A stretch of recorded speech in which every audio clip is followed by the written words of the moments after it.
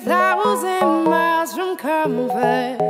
We have traveled land and sea. But as long as you are with me, there's no place I'd rather be.